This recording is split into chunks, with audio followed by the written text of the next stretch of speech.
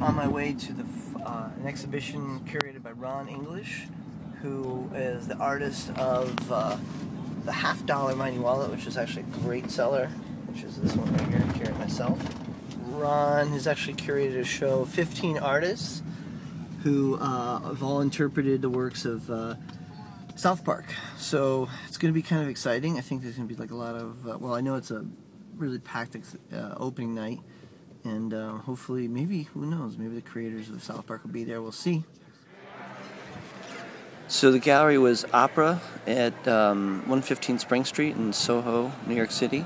Uh, that was really well put together, well catered, um, great event. What a cool place to bring together like 15 different artists doing uh, some pretty cool stuff with the South Park imagery and it's just like for me for and for Mighty Wallet I think it's pretty awesome just to be in one place where we have both our licensors like Ron English and South Park coming together in what a cool way. And uh, there's uh, Matt Stone was there and uh, Ron English gave him a tour of the show. Uh, he ended up buying a bunch of pieces uh, and all of it was really well put together, like I said. But it's just such a cool thing um, for me personally as an artist now to be working with people like this and uh, at this caliber, which is uh, pretty exceptional.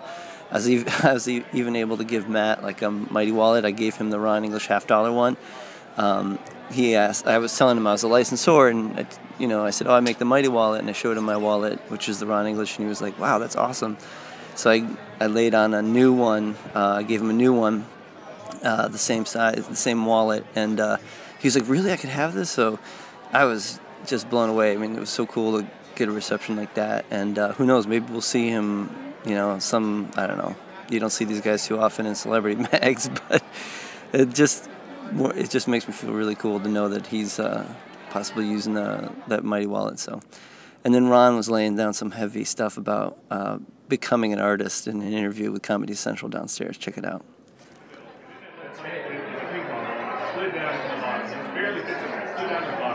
You have five things. You have a box of cereal, a hammer, a pair of pliers, and two other things I remember. And how do you use these five items to get that ball out of there?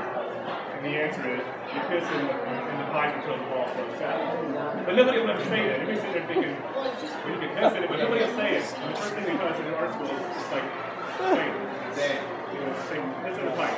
Now you're an artist.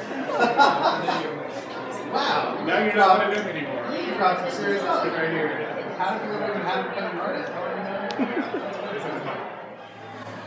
I mean, Ron is uh, is really cool. As I've been working with him now and get to know him a little bit more, uh, he's he's, he's really funny. Um, obviously, I think you judge that by his work, but uh, all in all, I mean, it was really cool. I look forward to doing more stuff with um, with Ron and uh, and South Park too. This is the year, of the 15th anniversary of South Park. Um, and uh, we're actually planning some events with Ron for the summer uh, and possibly the fall that we'll let you guys know about um, as we proceed. But uh, some more exciting stuff on its way for Mighty Wallet, and uh, I hope you guys uh, check us out on Facebook.